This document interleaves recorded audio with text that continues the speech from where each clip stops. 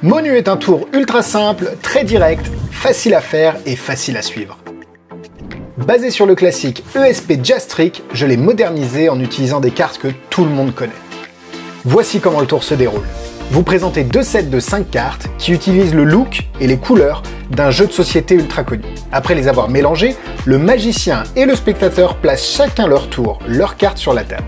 À la fin, toutes les cartes correspondent. Monu a été pensé pour les magiciens. Les cartes ressemblent à celles d'un jeu de société très connu avec un twist qui vous permet de les présenter d'une manière originale.